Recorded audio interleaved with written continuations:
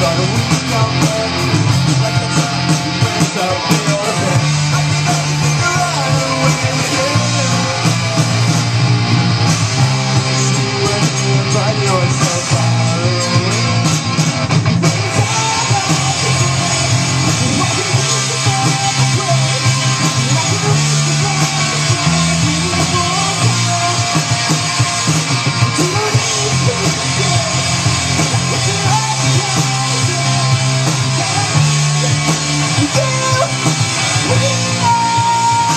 Whoa!